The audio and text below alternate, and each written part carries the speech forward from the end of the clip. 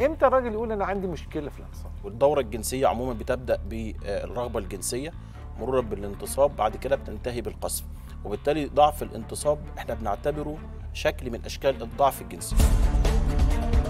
العلاجات الحديثة في ضعف الانتصاب. المحور الأول هو العلاج الدوائي العلاج بالموجات الصدمية الملاذ الأخير أو الحاجة النهائية اللي هي الدعامات.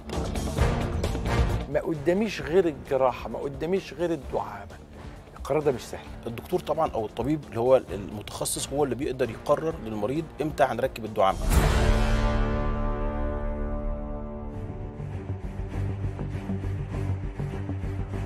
الأستاذ الدكتور صلاح زيدان أستاذ جراحة الكلى والمسالك البولية والتناسلية. استشاري أمراض الذكورة والعقم والضعف الجنسي بكلية الطب جامعة الأزهر. عضو الجمعية الأمريكية والأوروبية والمصرية والدولية لجراح المسالك البولية وأمراض الذكورة.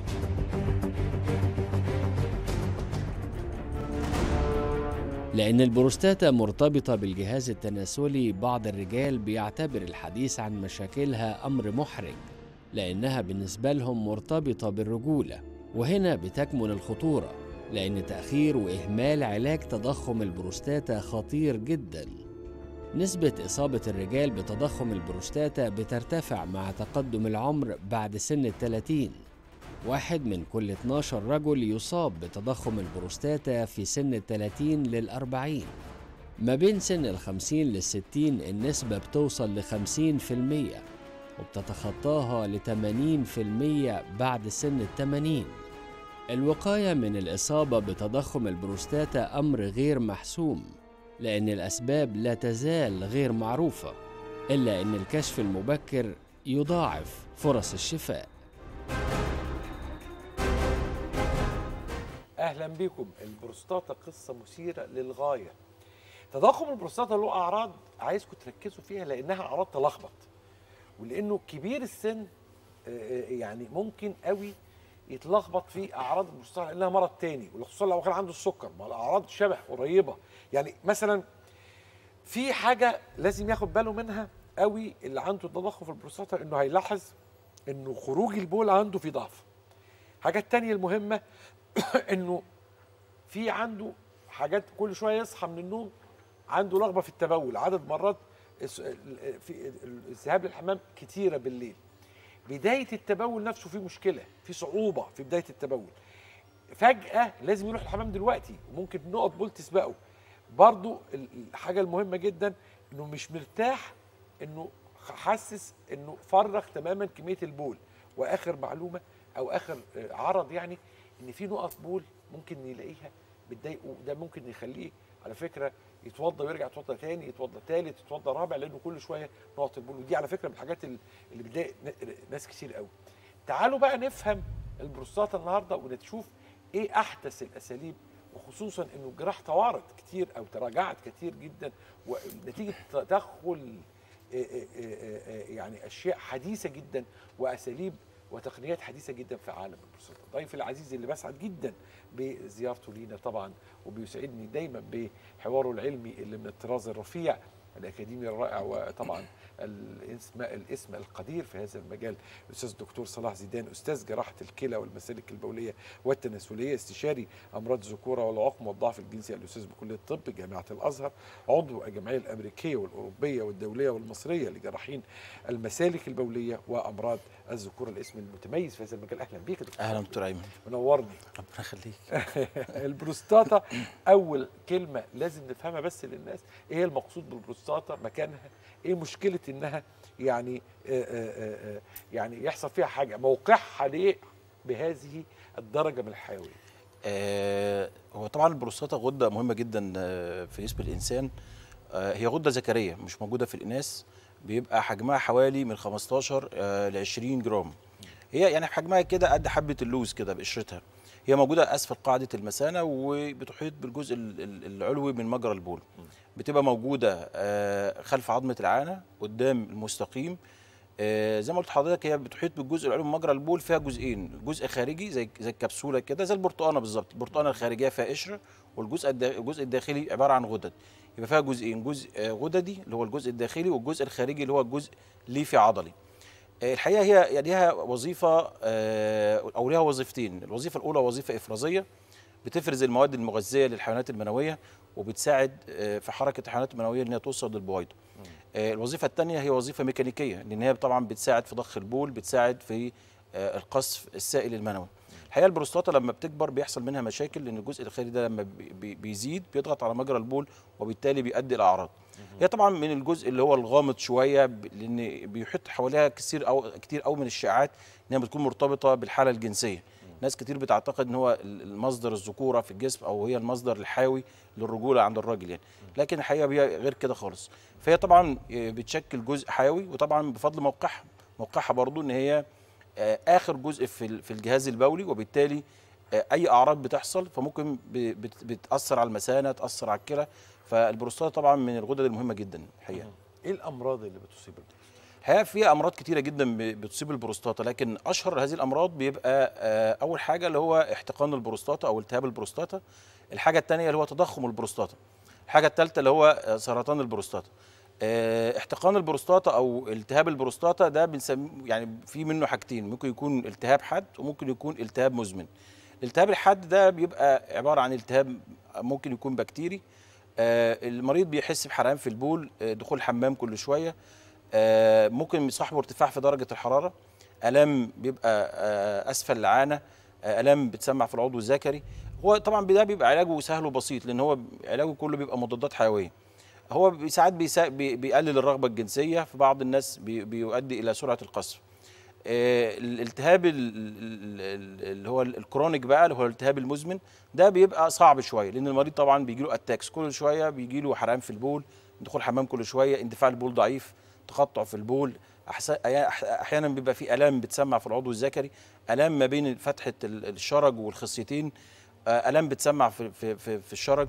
المريض قد يصاب بقذف مدمم آه، قد يصاب بحرقان في البول أو دم في البول آه، عيبه الوحيد طبعا إن هو آه، المريض طبعا ما بيتحسنش بسرعة. وبالتالي إحنا بنفهم المريض طبيعة اللي عنده وبالتالي بتلاقي معظم ال- ال- ال- ال- المرضى بي- بي- بيلف على الدكاترة بيخرج من الدكتور ده يروح لدكتور تاني لأن هو ما بيتحسنش. لكن إحنا لما بنفهم المريض وبنفهم طبيعة اللي عنده وإن العلاج هيطول شوية أحيانا بيمتد لثلاث شهور. فده طبعا من المشاكل الكبيرة جدا. آه، المشكلة الثالثه طبعا هو تضخم البروستاتا. طبعا زي ما قلت لحضرتك برضو إن ده حاجة مشكلة. بتحصل مع السن بيحصل تضخم في البروستاتا وبتقفل على مجرى البول وبالتالي المريض بيصاب بالأعراض. إيه إيه مشاكل أو مخاطر ومضاعفات إن البروستاتا تتضخم؟ طبعا هو البروستاتا بي زي ما حضرتك تفضلت كده وقلت في الأول الأعراض بتاعة البروستاتا. اعراض طبعا كتيرة جدا. أول حاجة ممكن يكون المريض جاي بأعراض آه، حاجة اسمها آه، تهيج في المثانة وممكن تكون أعراض انسدادية. أعراض تهيج في المثانة المريض ممكن زي ما حضرتك قلت برضه إن هو بيدخل حمام كتير بالذات بيزيد بالليل. تلاقي المريض ما بيلحقش ينام بيقول لي يا دكتور أنا ظابط المنبه. أصحى بالليل كل شوية داخل الحمام خارج من الحمام. حاسس إن هو ما فرغش المثانه كويس. أحيانا البول برضو بيبقى بيجي له زنقة أو أو رغبة ملحة في البول. ممكن ما يلحقش نفسه البول يفلت منه. آه، ممكن المريض يجي بأعراض انسدادية. كلمة انسدادية يعني عنده سدد في البول يعني حاجة سدت المجرى بتاع البول وبالتالي المريض بدأ يشتكي. ممكن يجي له إن هو أول ما يبدأ يدخل يعمل حمام ممكن يتحايل على البول بيحزق جامد عشان البول ينزل ولما ينزل ينزل متقطع. آه، ممكن اندفاع البول يكون ضعيف. ساعات المريض يقول إن المريض بينزل البول بينزل متشعب بينزل خطين. ممكن بعد ما بيخلص حمام حاسس إن هو ما فرغش المثانة كويس. أو في نقطة بعد ما بيخلص نقطتين ثلاثة كده بينزلوا وطبعا دي بيتضايقوا علشان الصلاة ودي بتبقى أكتر الحاجات اللي هي بتبقى مزمنة وبتضايق المريض. مريض تاني ممكن هو ما يرضاش رايح مشوار ولا حاجة يأجل المشوار بسبب ال- البروستاتا بسبب ان هو عايز يدخل حمام. آه، بعض المرضى ما يشربش مية يقول لك أنا مش هشرب مية عشان ما أدخلش الحمام. طبعا دي من الأعراض الكبيرة جدا. طبعا الأعراض دي لو اتسابت بيبقى لها مخاطر كبيرة جدا. أولها إن المريض ممكن يجي له التهاب مزمن يعني ده كل شوية يلاقي التهاب في البول صديد في البول. طبعا هو ما بيفرغش المثانة كويس فبالتالي في كمية بول بتنزل في كمية تانية ما بتنزلش. الكمية اللي بتنزلش دي بيبقى عرضة لتكوين الحصوات عرضة للالتهابات. آه، المثانة نفسها ضخ المثانة على على مجرى البول المثانة نفسها بتضعف مع الوقت وبيحصل في جيوب في المثانة. الجيوب دي برضو عرضة للبكتيريا عرضة للالتهابات عرضة برضو لتكوين الحصوات.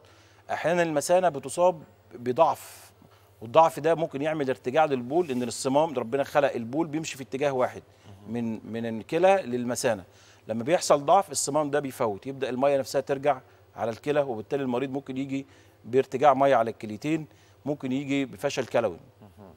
بعض الناس ممكن يصاب بسلس بولي. يعني المريض لو اتساب فترة طويلة جدا ساعات لما بيجي له احتباس مزمن المثانه بدأت تضعف بدأ الإحساس يقل بدأ كمية البول هو بينزل شوية والباقي بيستنى جوه. فهو متهيأله إن هو فرغ المثانة. نيجي نفحص المريض نلاقي المثانة مليانة.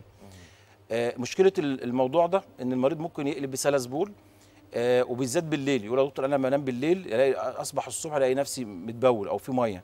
فبعض الناس بتشخصه عن هو تبول. لا إرادي. لكن مشكلته كلها إن هو المثانة نفسها بدأت تضعف. بدأ كمية المية تزيد بدأ ال- ال- الصمام نفسه يفوت بول. وده بنسميه overflow overflow incontinence يعني سلس بولي أو بنسميه سلس بولي بالعربي سلس بولي طفحي وده طبعا بتبقى من المشاكل الكبيرة جدا حتى علاجها بيبقى صعب شوية. المريض جاي بكل الأعراض بكل المشكلات دي عايز يشخص حالته يعني. أنا عندي هل أنا عندي تضخم بروستاتا ولا عندي مثلا مثلا متهيجة؟ الحقيقة هو يعني التشخيص بيبقى مهم قوي لأن إحنا يمكن إحنا عندنا في عياداتنا كلنا معظم دكاترة المسالك بيبقى عندهم sheet كده في العيادة. ده بيعتمد أو بنعتمد عليه في التاريخ المرضي إن إحنا بنقيم الأعراض بتاعة المريض. آه، حاجة اسمها IPSS score ده بيبقى آه، ده score كده عملته الجمعيه الأمريكية سنة تقريبا 92 بتقييم لأعراض المثانة سواء كانت تهيج في المثانة أو أعراض انسدادية. إحنا هم الأعراض دول حوالي سبع أعراض بندي كل عرض من دول من zero لخمسة. كل ما بيقل يعني بيوصل لل zero يعني هو ما عندوش أعراض. كل ما بيزيد معناه الأعراض أعراض severe أعراض جامدة جدا. وبالتالي المريض ممكن آه، آه، في يعني بنقيم ال severity بزيادة ال- ال- ال score بتاعه. في عرض تاني اللي هو ال quality of life نبدأ نقول بقى في الآخر هو قادر يكمل كده ولا مش قادر. نبدأ ندي ال score من آه، من zero لسبعة. ده أعراض بسيطة وما فيهاش أي مشاكل. ممكن بنمشيه حاجة اسمها watchful waiting يعني بنحطه تحت المراقبة أو تحت الملاحظة وبنفهمه الحاجات اللي هي ممكن يبعد عنها أو الحاجات اللي هي ممكن تؤدي إلى زيادة أعراض البروستاتا. آه، ال- ال- التقييم الثاني بيبقى من 8 ل 19 ده بيبقى متوسط. ده ممكن يمشي علاج دوائي ومفيش منه مشكلة. من 20 ل 35 ده أعراض.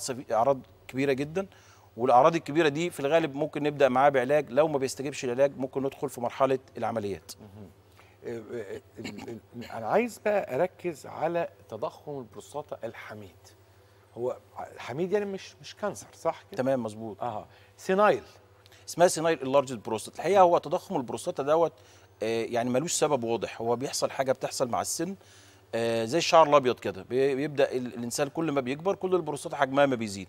الحقيقة ما فيش سبب واضح لتضخم البروستاتا كلها نظريات. ولما بنقول نظريات يعني ما فيش سبب واضح أو سبب قاطع يقول إن في سبب واضح لتضخم البروستاتا الحقيقة أسباب كتيرة جدا منها بعض الناس قالت إن هو ممكن يكون تكاثر في الخلايا.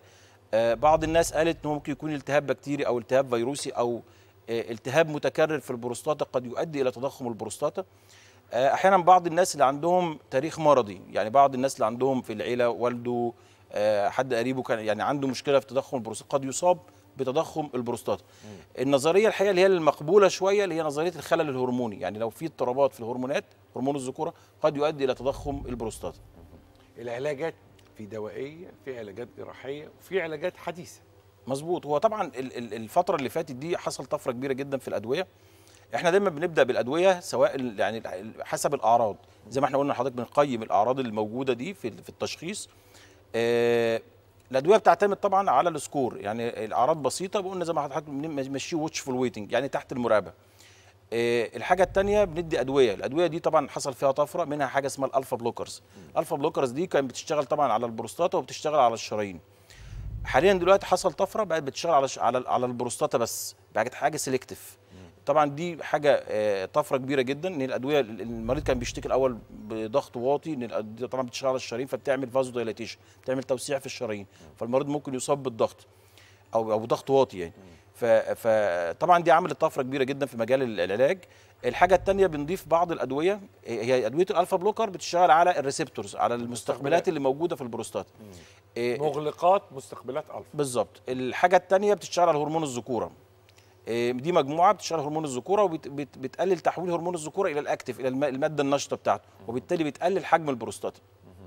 دي ال- دي, ال- دي الأدوية عموما. أحيانا بنضيف بعض الأدوية في بعض الناس بيكون عندهم تهيج في المثانة زي دخول حمام كتير هو مش قادر يستحمل زنقة البول.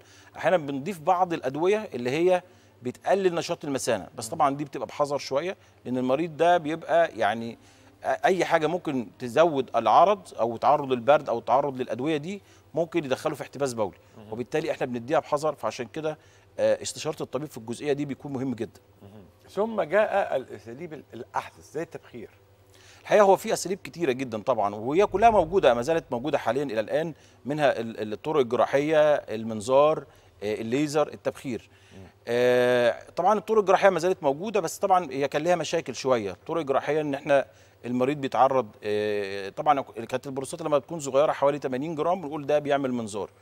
البروستاتا لما تكون كبيرة فوق ال 80 بنبدا نعملها بطرق جراحية.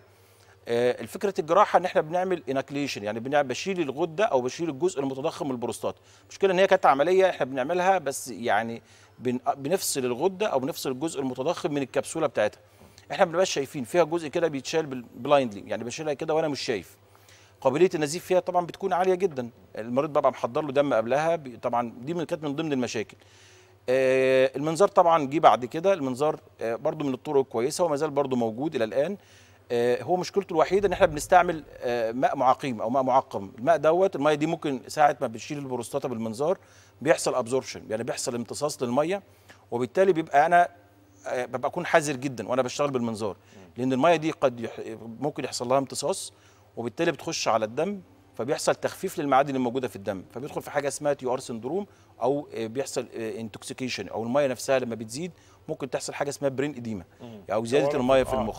في المية في المخ. دلوقتي حاليا حصل طفرة بقى دلوقتي في مجال التبخير. دي حاجة اسمها طاقة البلازما الطاقة دي بتعمل على تبخير البروستاتا بتخليها زي الرذاذ كده. فكرة البلازما طبعا دي بتشتغل في محلول ملح. محلول الملح دوت آه، حاجة زي المحلول الفسيولوجي. محلول الفسيولوجي بتاع الجسم. فبالتالي ما فيش منه خطورة خالص.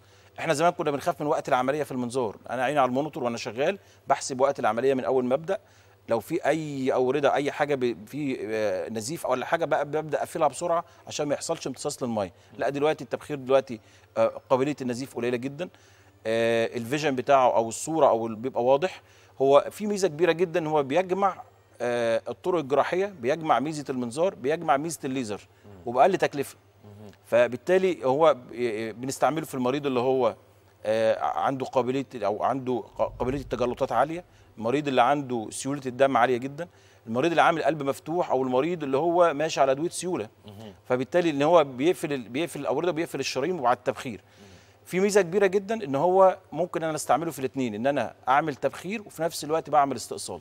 وبنطبقه أحيانا برضه على أحجام كبيرة لأن دلوقتي شفنا بقينا بنشوف أحجام كبيرة في البروستاتا. آه، طبعا مع التقدم في السن ومع العلاج الدوائي فمتوسط أعمار الناس بقى يزيد. والعلاج الدوائي برضه بقينا نشوف حجم بروستاتا كبيرة جدا. فبالتالي دلوقتي ال- التبخير حل المشكلة دي. هو طبعا بيختلف طبعا هو بيعتمد جزء كبير جدا على خبرة الجراح. يعني في ناس تقول إحنا بنشيل الجزء المتضخم في البروستاتا. هو بي وناس في في المنظار لا إحنا بنشيل الجزء المتضخم بس. شوية نلاقي ناس بعد فترة لقينا البروستاتا رجعت له تاني بعد ست شهور أو بعد سنة. هي الحقيقة هو الموضوع بيختلف من خبرة الجراح لأن هو آه، ده ليه عامل كبير جدا آه، في التكنيك في الشغل نفسه في ال skills في المهارة. فبالتالي هو بالحقيقة يعني هو magic حاجة حاجة سحر دلوقتي. الحقيقة عملت آه، طفرة كبيرة جدا. هقف قدام نقطة مهمة قوي قوي. آه، عملية البروستاتا آه، في ناس تعتقد إنها تؤثر على الانتصاب. في ناس بيبقى عندها البروستاتا وبتعاني من أعراضها مش عايزة تعمل أي نوع من التدخلات عشان خايفه على الانتصاب أو آه، سمعت معلومة. لا يا عم دي بتعمل ضعف جنسي أو عجز هو الحقيقة طبعا هو عنده حق طبعا اللي بي بي بيفكر في الموضوع ده طبعا. لكن هو ال- الفكرة ال- الارتباط البروستاتا بالضعف الجنسي كان بسبب الأعراض. يعني قبل العملية بيكون بسبب الأعراض. هو راجل عنده حرقان في البول اندفاع البول ضعيف عنده ألم مش قادر يستحمل فبالتالي مش هيفكر في الجنس. فبالتالي ده بيبقى هو أصلا عنده بي- بيصاب بالضعف الجنسي والغالب بيبقى نفسي. الحقيقة إن بعض الناس بعد العمليات بتاعة البروستاتا وخصوصا التبخير بيحصل تحسن كبير جدا. بنلاقي حوالي 30% من الناس بدأت تتحسن لأن هو خلاص مشكلته بدأت تتحسن مشكلة البول بدأت تبقى كويسة. إحنا كنا زمان بنخاف من هو حاجة أو في بعض ال studies أو بعض الدراسات بتقول إن هو حاجة اسمها ال thermal effect هو تأثير الحراري أو تأثير الكهرباء على إن هو كان في عصب بيبقى ماشي ورا البروستاتا ده بيتأثر شوية فبالتالي بيصاب بالضعف الجنسي. الحقيقة هو هي كلها دراسات لسه ما فيش حاجة قاطعة بتقول إن هو آه، بيأثر ولا لأ لكن هو أثبت دلوقتي حاليا ال- التبخير من ضمن الحاجات اللي هي آه، ممكن تأثيرها بيكون قليل جدا. هو ممكن يبقى فيه تأثير على القذف شوية لكن تأثير على الانتصاب في الغالب بيبقى قليل. آه، يمكن حاليا دلوقتي كمان بعض الناس بدأت تعمل تكنيك جديد اللي هو آه، بيحافظ على القذف بيسيب جزء معين اللي هو جنب الجزء اللي بيخرج منه السائل المنوي وبالتالي ده بيقلل موضوع ارتجاع القذف.